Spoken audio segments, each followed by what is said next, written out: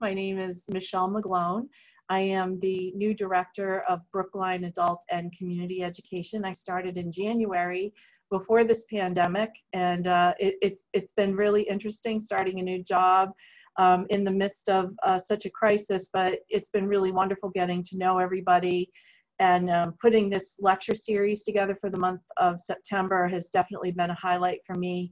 Um, we've we've heard from a lot of great people in different industries, and tonight I'm super excited um, to have somebody who's in the forefront of um, cutting edge medicine, who's here to share, um, you know, with us on some of uh, the work that he's been doing. And I have a, a very brief uh, introduction. I'll just go ahead and, and share some of his uh, biography, very accomplished. Um, Dr. Sekar uh, Kathiresan.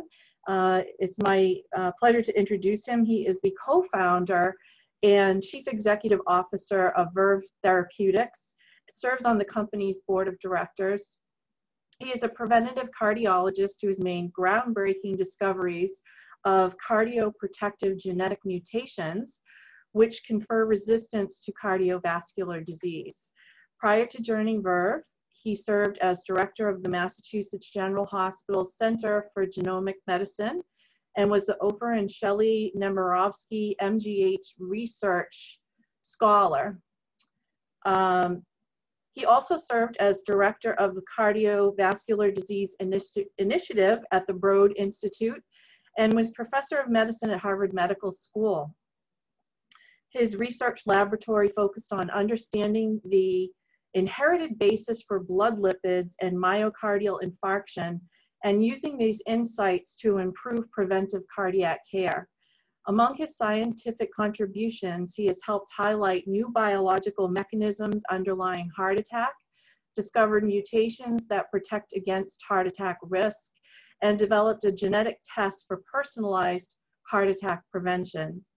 He was honored with the Distinguished Science Award uh, from the American Heart Association in 2017. And in the 2018, the Kurt Stern Award from the American Society of Human Genetics. In tandem with his research, his clinical focus was the primary prevention of myocardial infarction in individuals with a family history of heart attack. He graduated summa cum laude with a, a bachelor's in history from the University of Pennsylvania and received his MD from Harvard Medical School. He completed his clinical training in internal medicine and cardiology at Mass General and his postdoctoral research training in human genetics at the Framingham Heart Study and the Broad Institute. So without further ado, I'm going to turn this over um, to Dr. Kathiresan, and um, we, we thank you for joining us. Well, thank you very much, Michelle. It's really a, pleasure to be here. Um, and thanks uh, to those who, who have joined. Um, uh, I'll jump right in. Uh, we have a small group, so we can make it quite interactive. So feel free to um, interrupt uh, me um, kind of anywhere along the way. Um, uh, we've left plenty of room, time for questions at the end as well. Um, and what I'm going to try to cover, let me share my screen. Okay, as uh,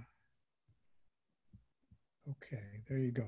Um, so as, as, Michelle mentioned, um, I'm currently leading a biotech company called Verve Therapeutics. We're based in Cambridge, Mass. Uh, we're, we're, about two years into our effort to create a, a new type of medicine, a gene editing medicine uh, that uh, for to treat heart attack. So imagine a one and done treatment for for lowering cholesterol and treating heart attack, and we can get into that uh, toward the um, end of the uh, discussion today. Um, and before coming into Verve, founding Verve, and um, now leading it, um, I, I um, was a professor of medicine at Harvard Medical School. And I still have a small clinical practice at Mass General, uh, seeing cardiology patients.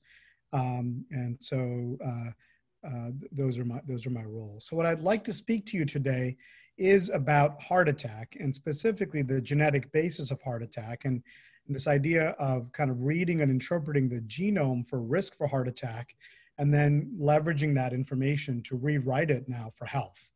Um, so my work over the years has really been built off of patients that we've seen or is seen. in the clinic. And so here's an example of a patient.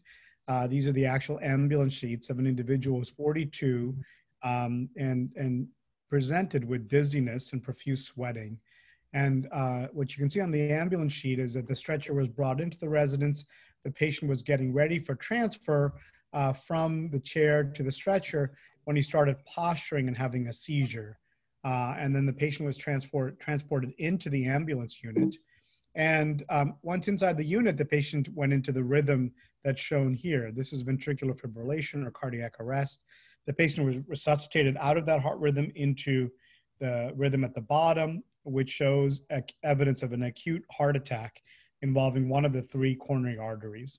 So this EKG suggests that one of the three arteries is completely blocked. Um, and um, the patient got taken to the hospital. Uh, there was a, a, coronary angiogram done. Um, the artery that was blocked is called was called the right coronary artery. That blockage was opened with a stent, um, and so the patient got treated for the heart attack, but unfortunately uh, suffered significant anoxic brain injury during the resuscitation in the ambulance and prior to that at home, and expired about 10 days into the hospital course based on anoxic brain injury. So we have uh, an individual who suffered a fatal heart attack. Now, heart attack is, in the medical term, is myocardial infarction, or abbreviated MI. So throughout the talk, I'll in, you know interchangeably use heart attack, MI, um, uh, you know, and and and they, they, mean the same thing. So this is the patient's um, uh, risk factors for heart attack. You know, at a visit to the primary care doctor six months prior to his death. And what you I've li- broken down the risk factors into lipid risk factors at the top and the non-lipid risk factors at the bottom. Uh, the non-lipid risk factors are absent. Uh, the lipid risk factors, the LDL cholesterol is 167. That's a little higher than average. Average in the U.S. is 130. The HDL cholesterol is low. The triglycerides is 170, which is higher than normal, uh, which is labeled uh, 150 or lower is considered normal.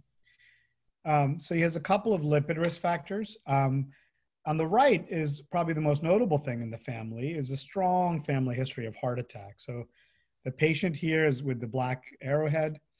Um, the fa- father had a heart attack at 51. Uncle had a heart attack and died of a heart attack at 42 as well. Uh, and then uh, paternal grandmother also had early, early heart attack. So there's a very strong familial clustering of heart attack. And and when you see this kind of familiar clustering, immediately people think about genetics, the genes. There must be something in the genes. So here's a cartoon of people, the genome or DNA, and the average uh, average in the population, average person has average heart attack risk. Okay, but um, some people may carry a genetic factor, um, and that genetic factor may increase risk of disease. So, like this this patient was there something in the genome that contributed to the higher risk? Now, on the flip side, some people actually carry a DNA change, a DNA letter change, a mutation that actually lowers risk, confers resistance to heart attack. So these are the two questions that I addressed over the years um, in my research lab prior to coming over to Verve. What is the genetic basis for risk, and what's the genetic basis for resistance? So the disease um, that we're studying is called um, coronary heart disease, so yet, that's yet another term, heart attack, myocardial infarction, coronary heart disease. Coronary heart disease refers to those blockages in the, in the heart arteries.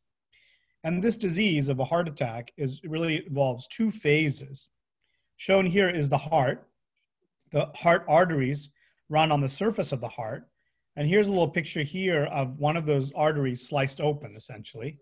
And you see the flowing blood, and there's there's a the wall of the artery. What happens over several decades is there's buildup of cholesterol and plaque in the heart artery wall. That's this yellow gunk here. And that's called coronary heart disease. That takes several decades. And then at a given time point, there can be a blood clot, this little really red stuff, that forms within the center of the artery. And and and that blood clot can completely block blood flow. If it does completely block blood flow for more than about 20 minutes then the heart muscle that is served by that artery can die. That death of heart tissue is called a heart attack or myocardial infarction. Okay And that death of heart tissue can be detected by symptoms. The patient will typically feel chest pain, characteristic changes on the surface EKG, or blood test abnormalities. Okay, so this is a disease that involves a long um, phase, a chronic phase, several decades of buildup of plaque in the heart arteries, and then an acute phase where there's a blood clot that forms at a given time point leading to the heart, heart attack. Now, this disease has, is, is called a complex trait. What I mean by that is it, it has both a genetic component and lifestyle components. And we're all familiar with the lifestyle components for heart attack, including sedentary, um, lack of physical inactivity, smoking, and so forth. Now, half of all heart attacks, the first presentation is like this patient. There's actually a, it's a fatal event. Okay. All right, the best understood risk factors for heart attack are shown here, and these are called lipoproteins. And so these are little spherical balls that carry either cholesterol, as shown in orange, or um, uh, triglycerides, which is shown in blue, um, carry these two lipid substances in the bloodstream. So um, these, these are important uh, molecules that carry essentially energy, triglycerides and cholesterol, to different parts of the body. And this is the body's transport system for these substances that don't dissolve in water, uh, don't dissolve in blood. These lipids, I'm sure, you know, people, a lot of, millions of people have this measured every day. When you get your LDL cholesterol checked or HDL cholesterol checked, this is, this is what I'm talking about. These lipoproteins are, are, are named based on the density. So this is HDL stands for high density lipoprotein. LDL stands for low density lipoprotein or they're named for the lipids they carry in the middle. These three are called triglyceride rich lipoproteins, TRLs, because they carry mostly the blue stuff, the triglycerides. So these are risk factors for heart attack. Okay, so that's the background. So let's jump in to try to address those two questions I mentioned, which are what's the genetic basis for risk? What's the genetic basis for resistance? To look at the genetic basis for risk, we uh, started recruiting patients at Mass General Hospital when I started training there in 1997. We enrolled patients into a research study who uh, had a heart attack at a young age. This is men less than 50 and women less than 60. And we wanted to study these patients, their genetics, their genome. Uh, and we chose young heart attack patients because um, DNA plays a larger role in disease when it happens at a young age. So we've defined two paths to heart attack risk, okay? One path is called the monogenic path. That means a single mutation in a gene, a single spelling change in the genome can put a person at risk. Mono being one, gene is you know, for genetic. In contrast, there's also a polygenic model, which means there's the additive effect of many spelling changes in the genome that can, in aggregate, lead to disease risk. These are the two paths that we've worked out over the last 15 years, and I'll just summarize the results of all this work. If you take 100 people with heart attack at a young age, in their 30s, 40s, 50s, and you sequence their genome and ask how many of them carry a mono, you know, have this monogenic model, one spelling change that can cause increased risk. It turns out it's about two out of 100. 2% of early heart attack patients have a single spelling change in the genome that you can say is responsible for the early heart attack. And if you carry if, the people that carry this mutation, these mutations, have about a 400% increase in risk or a fourfold increased risk. Okay, that's the monogenic model. Now, how do these mutations increase risk in these people? And they do so by elevating the blood level of cholesterol, shown at the top, or the blood triglyceride level. So these people have lifelong high cholesterol starting really at birth. And uh, that's shown on the right on the is the no mutation and yes mutation in a group of people. And on the y-axis is the LDL cholesterol. And you can see if you carry one of these monogenic mutations, they had an LDL cholesterol of 206, whereas those who didn't had an LDL cholesterol of 124. So that's the mechanism for how the mutation leads to heart attack because it's essentially the cholesterol clogs up the arteries over um, over years. Okay, now the the monogenic model only explains a very small fraction of the early heart attack patients. There were, uh, uh, so we wondered what else is going on. So this is, uh, there's another model called the polygenic model that we've defined. And here, what happens is um, the risk comes from not one single spelling change, but really the additive effect of many, many, many changes across the genome. In fact, 6.6 million letters across the genome. If you if you think about the the genome, the DNA in your in your in your in your body, in any given cell, as a as a book, that book has 3.2 billion letters. And that's the instruction code for life. Okay. And, and, and, and of those 3.2 billion letters, what we've been able to do is say, well, at these 6.6 million spots in the genome, those spots contribute to heart attack risk. And we can take the information that comes from those spots and distill all that information into a single risk number for each person, so called polygenic risk score. And then we can plot that score in the population. So each person gets a number, a risk score. And if you plot that score in the population, what you see is on the right. It's a beautiful bell curve. This is similar to if you plotted your cholesterol values in several hundred thousand people or blood pressure values in 700,000 people, you'll see this bell curve. So, um, what this means is that everybody has a number, and some people are high, some low, and many in the, in the middle. And what we're really wondering is if you ha- if you're high, how much higher risk are you for heart attack compared to the people in the middle? Okay. So what we showed was that if you're high polygenic risk, so let's say the top 5% of score in the population, they were at remarkably high risk, similar to the, um, the monogenic folks. So the high polygenic risk explained about 17 out of the 100 patients with early heart attack. And the people that got to, uh, people that had a polygenic high score, polygenic model was relevant, they had the same level of increased risk as the monogenic model. An important factor here is that the people who have high polygenic risk right now are not aware of their risk. This is not a test that's done regularly in the pra- in clinical practice right now. This idea of a calculating a polygenic risk score based on 6.6 million letters across the genome. It's not, it hasn't yet become a clinical test, and people are working on translating this research we did to a clinical test, but it's not quite ready yet. So, how are these people that with a polygenic high score, how are they getting to risk? We don't quite know yet. It's a work in progress, but we can say it's not cholesterol. So, what, by, what you can see on the right here, the people that have the high polygenic score versus everybody else, the LDL is 132 versus 124. It's a little higher, in the high polygenic risk folks, but not so much higher that a doctor would notice. Okay. One question that comes up so I've talked about two different models of increased heart attack risk. One is the monogenic model, one's a polygenic model.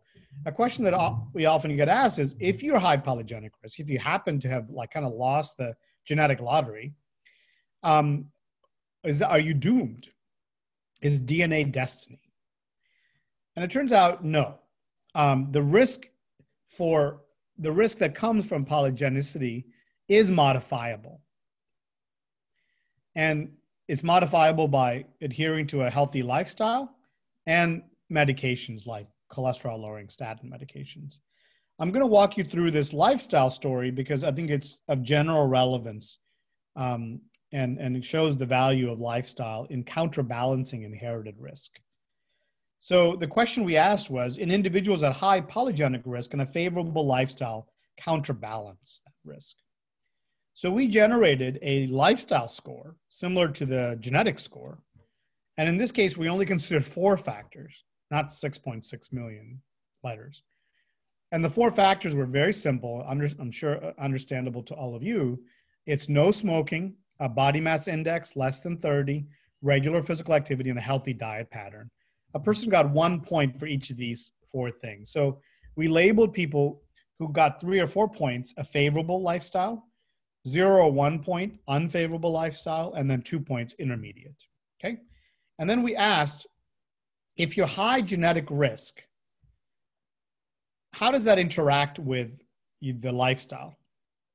And that's shown on this chart. So this is a chart of only high polygenic risk folks on the x-axis. On the y-axis is the 10-year risk of a heart attack. And then I've broken the polygenic risk folks into three groups, red, gray, and blue. The red group is high polygenic risk and unfavorable lifestyle. And the blue group is high polygenic risk and favorable lifestyle. And what you can see is if you're high polygenic risk and unfavorable lifestyle, the 10 year risk of having a heart attack was like 11%, 10.7%. But if you're high polygenic risk and have a favorable lifestyle, the 10 year risk was only 5%. So it really shows the value of adherence to a favorable lifestyle to cut inherited risk for heart attack. Okay, so you, everybody does have a, some amount of control over their own health when it comes to heart attack risk, even if you're dealt a bad hand in terms of genetics. Okay, so that's the risk portion. I'm going to move on now to the, the, genet- the genetic basis for resistance. The idea that if you have a spelling change in the genome, that that actually might help you. It might be a favorable thing. It might reduce your risk of a disease. Is that really true? Well, it is. It, there are now many examples. I'm going to sh- give you examples from the heart disease, heart attack literature that we and others have worked on over the years. Here's the here's a good example of uh, uh, uh, LDL cholesterol, so-called bad cholesterol. You've, I'm sure you've all had this measured, and the epidemiology suggests shows that the higher the level of LDL cholesterol in the blood, it's correlated with increased risk of heart attack. Well, in, in about 15 years ago, a couple of groups found that some people carried a mutation in a gene called PCSK9, and that mutation turned off the gene. And as a result, these individuals had very low levels of LDL cholesterol lifelong and were remarkably protected against heart attack. Suggesting that if you could develop a medicine that mimicked these natural mutations, natural resistance mutations, that that would be good. And that's what drug companies did. They developed a, a treatment to block PCSK9 and then showed that that treatment actually mimics the mutation that it actually can lower cholesterol and lower risk of heart attack. So here's a good example of uh, resistance mutation leading all the way to therapy. Now, um, that's what's shown here. Now, there is another uh, lipid I mentioned earlier called triglycerides, triglyceride rich lipoproteins, which again, the higher the level, higher risk of heart attack. And we are the we and others have shown that there are three different genes that all have the pattern of have mutations in the population that turn off any one of these genes, and those mutations lead to low levels of triglycerides and are associated with lower risk of heart attack. I'm going to walk you through one of these examples uh, to kind of illustrate how this whole approach of finding resistance mutations works. So here's a woman named Anna Fuhr, and um, she lived in St. Louis. She worked for the Purina um, dog food company. They had a corporate health fair where they measured blood cholesterol in people. And to Anna's surprise and the the doctors at the company surprise, Anna's came back not with super high cholesterol, but look at the values. The triglycerides of 19, LDL of 37, HDL of 18, super low, vanishingly low levels. So they were surprised to see this and wondered why would her cholesterol be so low? Okay. Now, a few years later, we worked with a doctor who had brought together the entire family. Okay, so this is Anna's family. Anna is in this second row here, and number labeled six, two, six. There's Anna. Okay, she had nine brothers and sisters. Here are Anna's parents, labeled one, seven, and eight, the grandparents, and then there's a generation below. So the people that are shaded, either half shaded or full shaded, are the people that had very low cholesterol levels in the family. This really looks like a single gene is responsible for the cholesterol values being low in the family, so called a monogenic um, condition. So we worked with Dr. Schonfeld from WashU St. Louis to try to figure out, hey, what's the gene here that's leading to the very low cholesterol? So we sequenced the genome of Anna and several of her siblings to figure this out back in 2010. And we did figure it out. This was the publication back then. These are some of the people that did the work in my laboratory. And it's a very fascinating story. So I'm coming back now to the family. Okay. So follow with me here. I mentioned Anna is two, six. And what happened was here's Anna's mother, one, seven. And now I've labeled half of uh, half of Anna's mother with a blue uh, uh, shade, and that means that Anna's mother carried a mutation in this gene called ANGPTL3 that broke the gene. Now, if you remember from biology, all of us carry two copies of every gene one inherited from our mother, one from the father. So Anna had one copy of the ANGPTL3 gene broken. Okay, that's the specific mutation S17X, and had passed on that broken copy to one, two, three, four, five, six of her nine children. You see that? One, two, three, four, five, six. Okay.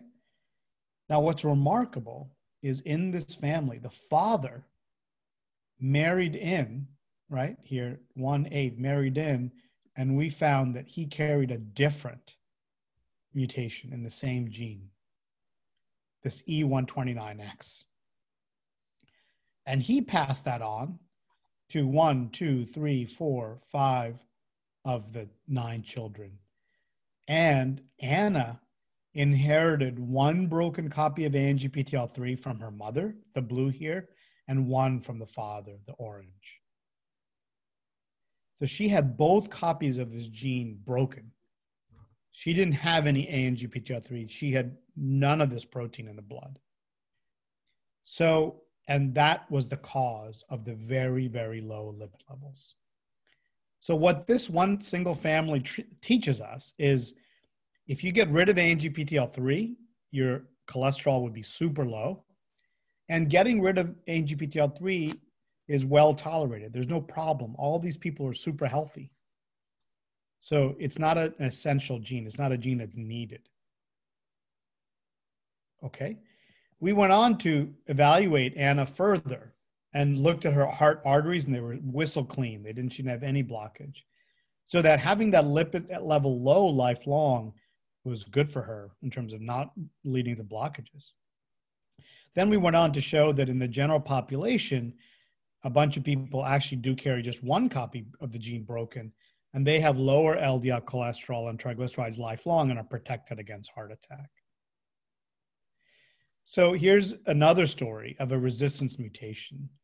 So there's PCSK9 gene, the ANGPTL3 gene. In total, there are eight genes that have been discovered that have this pattern of resistance mutations being in them. And here are the eight genes. Okay.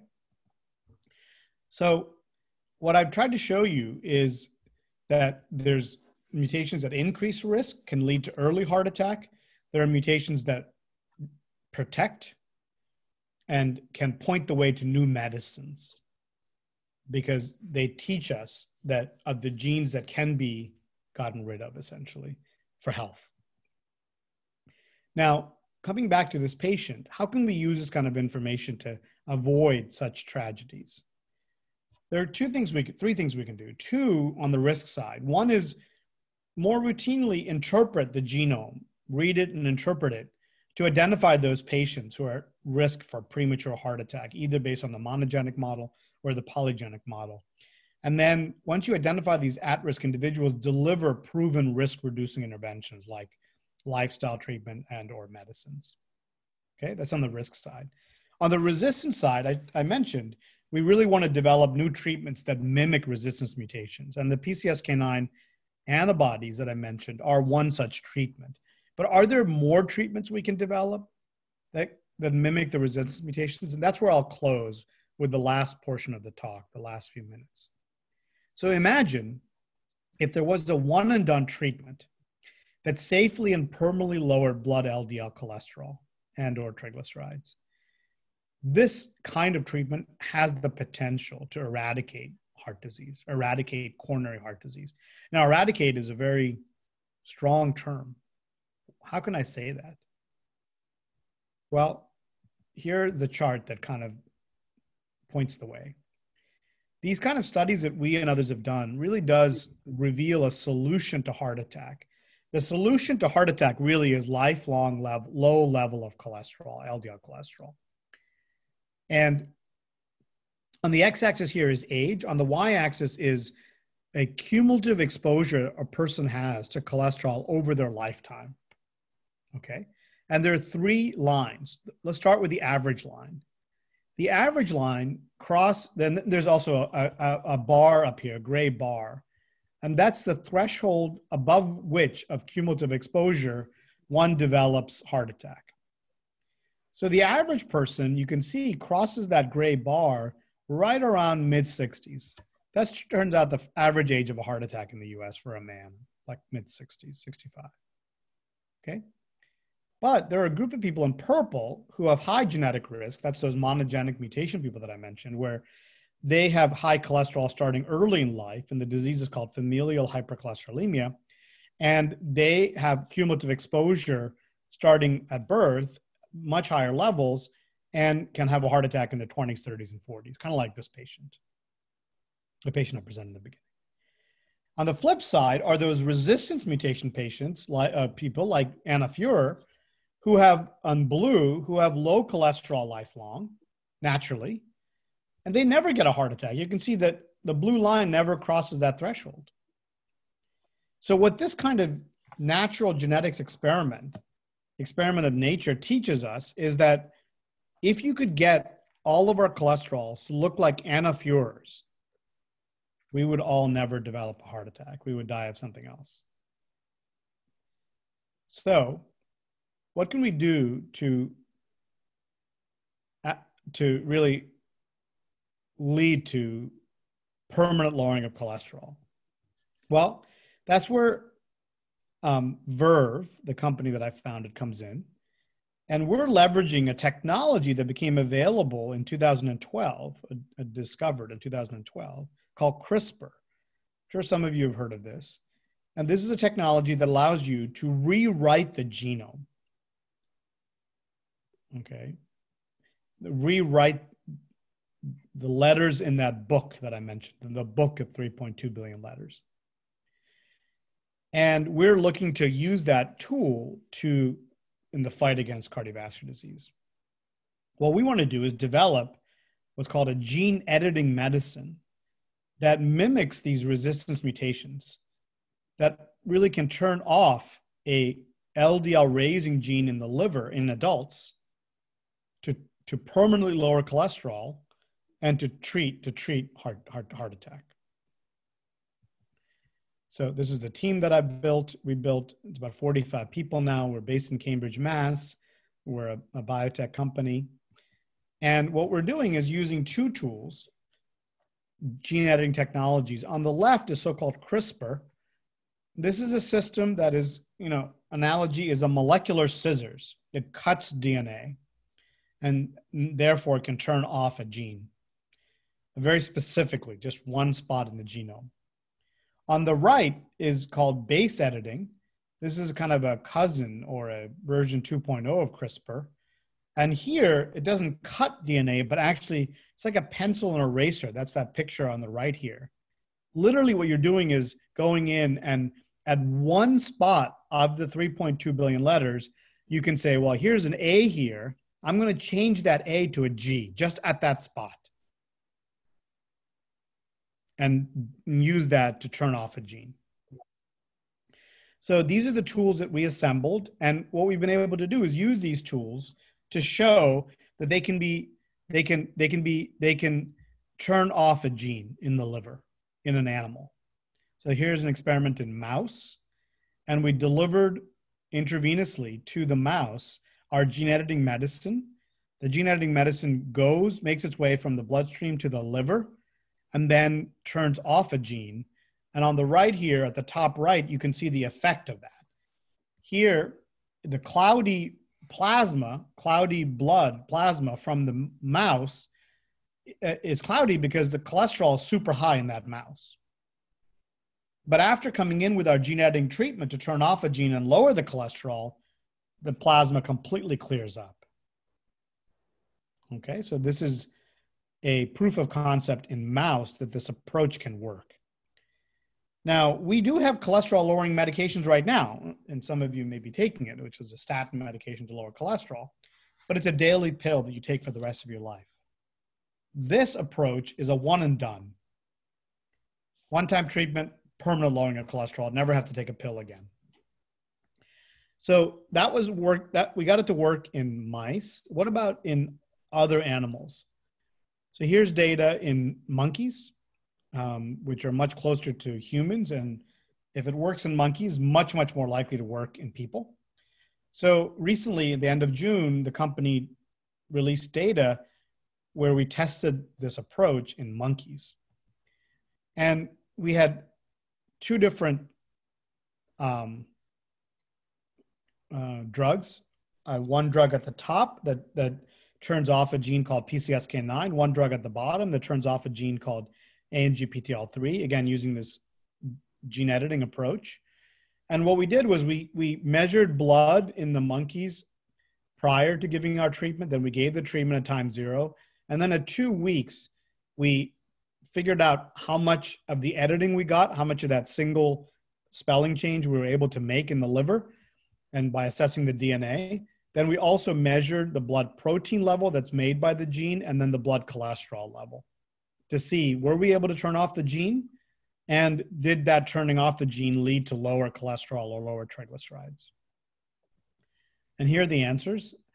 Um, the, for the first drug that targets PCSK9, this gene PCSK9, we were able to get the spelling change made in nearly every liver cell. Okay. And that's really literally, we're erasing an A and putting in a G in every liver cell in a living animal, adult animal. And as a result of that, we got a 90% lowering of cholesterol in this study two, second study here in the middle. Oh, sorry, 90% lowering of the blood protein, PCSK9 protein, and then a 60% lowering of LDL cholesterol minus 59% here. So we were able to turn off the gene in the monkey, lower the pl- protein level, and lower the cholesterol level. Similarly for ANGPTL3, we were able to get that spelling change made that we wanted in every, nearly every liver cell. This led to a 95% reduction in plasma protein, ANGPTL3 protein, and then a 65% in blood triglycerides.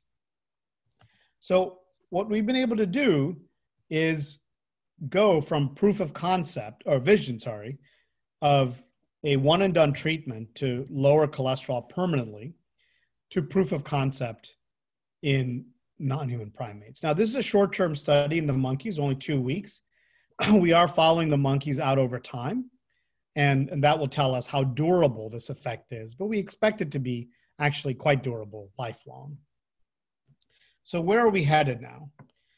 Um, Verve, we are by the end of the year, we'll pick a specific product that we want to take into patients, specific drug that we want to take into patients. We call that a lead candidate. That will kick off roughly year and a half of additional studies to prove the safety in uh, in animal models, and then we, we're looking forward to initiating treatment in patients, experimental trials in patients in first in human studies in, in about two to three years. So let me stop there um, in terms of um, what I've tried to cover is why do some people develop heart attack at a young age? why are some people naturally protected against heart attack? And can we use the resistance mutations to inspire the development of new medicines? And I'm, I try to show you that Verve is developing a gene editing medicine based on the resistance mutations and we the, that we and others have identified. Thank you.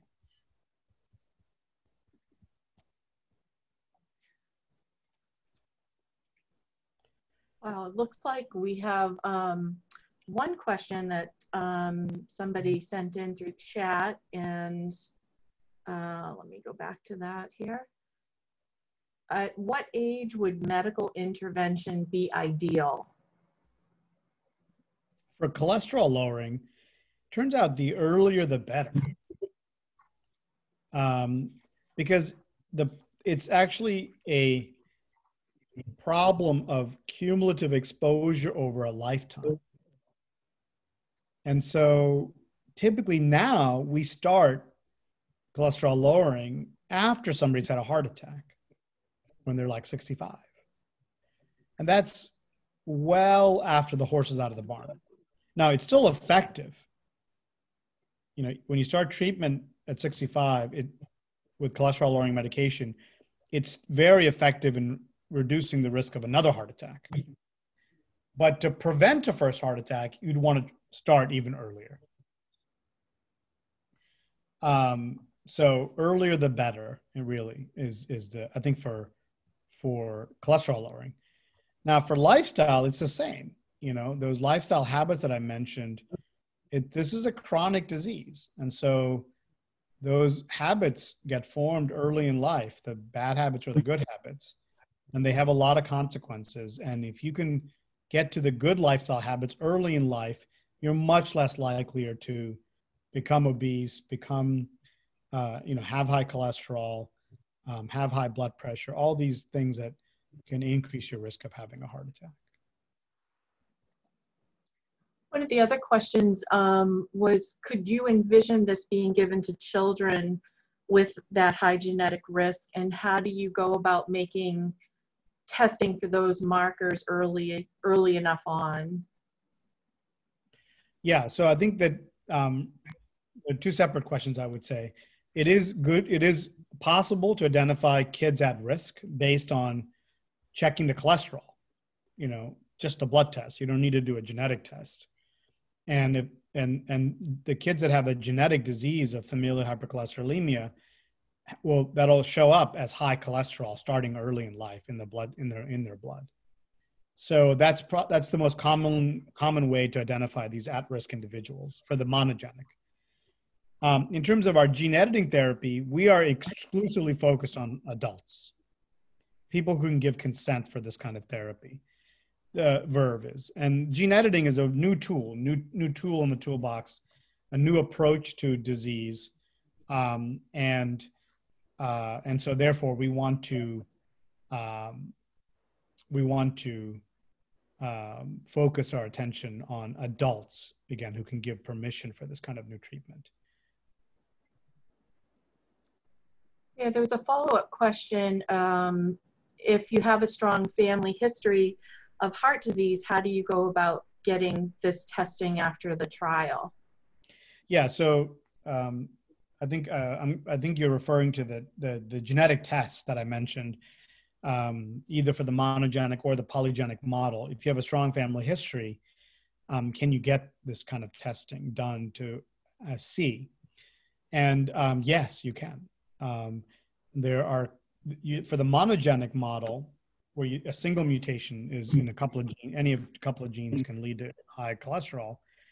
Um, there are uh, established tests where sequencing is done with your DNA that they take from blood.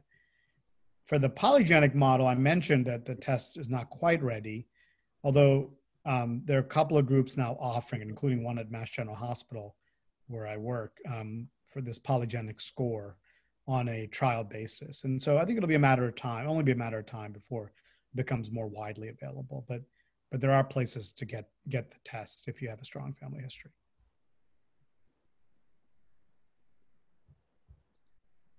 Um, there was another question about um, a family history of atrial fibrillation.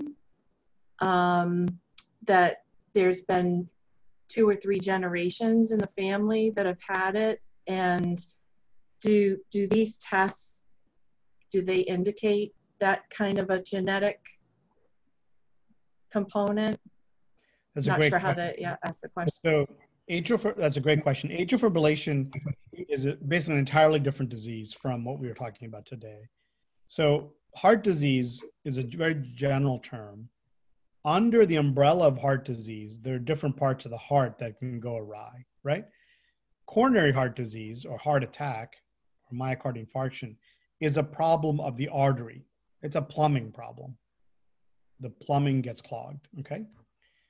In contrast, atrial fibrillation is a problem of the heart wiring. It's an electrical problem. You know, the heart is an electrical organ. It actually beats spontaneously, continuously for one's whole life. And that's based on electrical impulses that are carried every minute or every, uh, sorry, um, 60 times a minute um, that, um, that, that, that make the heart beat. Atrial fibrillation is a problem of that electrical wiring. Now, normally, uh, atrial fibrillation um, can have a lifestyle component, but it can also have a genetic component. It like this family, it sounds like this uh, multiple generations. And people have done research similar to the research that we did for heart attack, very similar research for atrial fibrillation. And the genetic basis for atrial fibrillation has been decoded as well. And you can get this kind of test particularly the polygenic test for atrial fibrillation as well. Wow. Um, is there any risk um, in turning a portion of a gene off, or is each portion of a gene specific for only that one function? Great question. The um, the things that you have to think about when you try to turn a gene off, and, and what we're trying to do, which is we expect it to be a permanent turning off, is you want to make sure that is that it's safe, you know. And there are a couple of reasons. So you have to pick that gene that you want to turn off very carefully.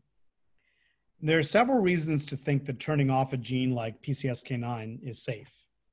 One is there are humans walking around who don't have the gene at all and are completely healthy. Kind of like Anna had that gene ANGPTL3 completely turned off and she's fine. Similarly, there are people walking around with that other gene, PCSK9.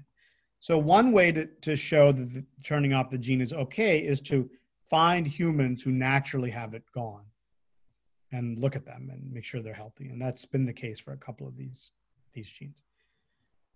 The second way is you can develop a medicine against the gene, give it to patients, and and see if does it it's going to do some good lowering the cholesterol but is there any bad things that happen in the patients in the in the, with the medicine? And it turns out like for pcsk9 there have been drugs i mentioned the the the um, what's called a monoclonal antibody a drug that blocks pcsk9 that was developed about 10 years ago and has now been treated and now been tested in trials many many thousands of people and the drug works beautifully to lower cholesterol and lower risk of heart attack and doesn't have any side effects. So those are the kind of uh, and then the lastly would be uh, is animal models. So you can test turning off the gene in mice or monkeys and see if anything bad happens. And all of those lines of evidence line up to suggest that turning off pcsk9 or ANGPTL3 is going to be well tolerated and no problems. All right, there's a couple more questions that came up here. Um, let's see. Do you hypothesize side effects with this treatment or similar to the patient Anna um, with a healthy or clean profile? And then how invasive is, is this procedure? Great question. So I think we anticipate that turning off a gene like ANGPTL3 would lead to no side effects and just benefit. But we have to prove that. Um, And Wow. the way why we think that is because of Anna. You know, she's out there, not doesn't have any PCSK9, has several several, several of her brothers and sisters are the same. They don't have any PCSK9 in that family, and they're fine. There are hundreds of people like this that have been found around the world now um, that completely lack the gene and are fine. Okay, so that gives us confidence that what we're going to do is going to lead to health, but no, no uh, problems, um, no uh, adverse problems. Now, how invasive procedure? Well, it turns out it's just a, uh, it, it, it's just a intravenous infusion. So it's just an IV. You get hooked up to an IV for 60 minutes, and the drug gets dripped in during those 60 minutes. There's not really even a procedure. It's just really literally a 60 minute drip into your to your bloodstream. I was curious um, where you, you, you mentioned, you know, that the, the drug impacted the liver and changed the alphabet in the DNA in the liver. I mean, does it change the DNA everywhere else in the body as well, or is it just the liver? And how do you target it in just that one organ? That's that's, That's wild.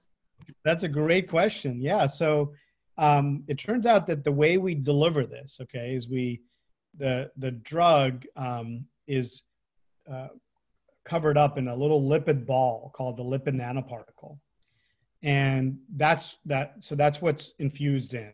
Okay, those lipid nanoparticles are very very um, uh, have a have a have an attraction to the liver almost exclusively go to the liver after you infuse in, into the bloodstream. By the way, anything you infuse into the bloodstream, the first place it goes into the liver. The liver is like the garbage dump for the body. It's the detoxifying kind of, you know, organ. So these lipid nanoparticles go there and they almost all get taken up. There is some lipid nanoparticle and drug delivered to other parts of the body as well, but much, much less than the liver.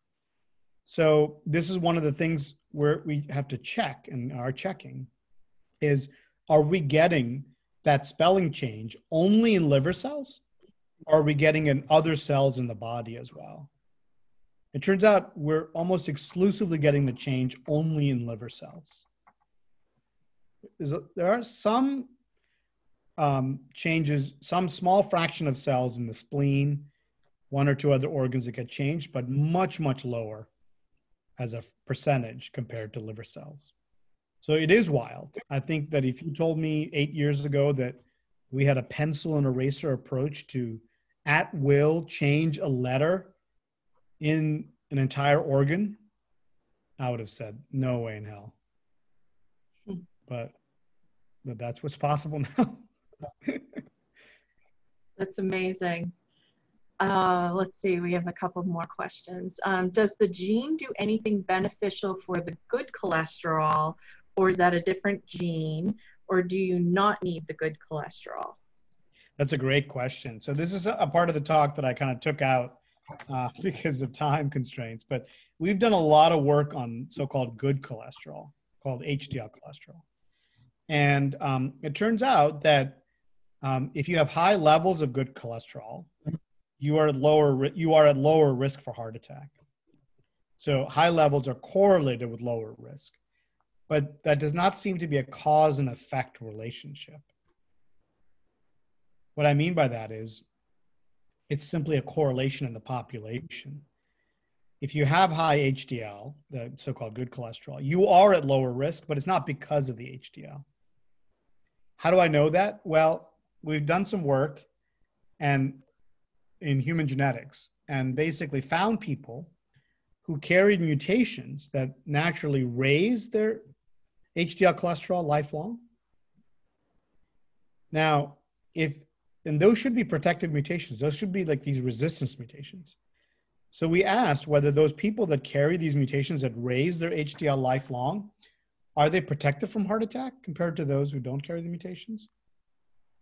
If HDL was truly protective and causally protective, then the people who carry HDL mutations, um, raising mutations lifelong, should have lower risk for heart attack. What we found was that these individuals who carried HDL raising mutations had the same risk for heart attack as those who didn't carry the mutations. So this really strongly suggested that there was not likely to be a cause and effect relationship between HDL and heart attack, and led to the hypothesis or or or predicted that medicines designed exclusively to raise HDL cholesterol would not work. They wouldn't lower risk of heart attack. So we made that prediction in 2012. And shortly thereafter, there were some trials reported of medicines designed to raise HDL cholesterol exclusively. And wouldn't you know it, they didn't work. The medicines raised the HDL cholesterol by a lot, but they didn't lower risk of heart attack. So, where we are now in terms of HDL is that it's a marker of risk, you know, but it's not a causal factor.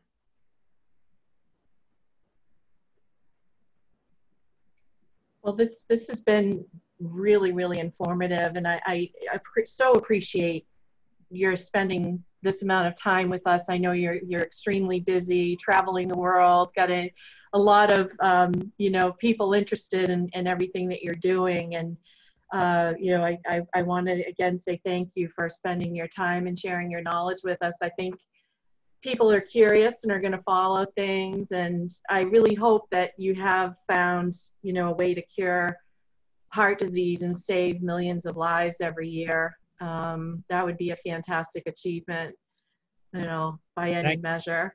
Thank you so yeah. much for the invitation and uh, and appreciate it. Stay safe. All right. Thank you so much. Have bye -bye. a good evening. Yep. Okay bye bye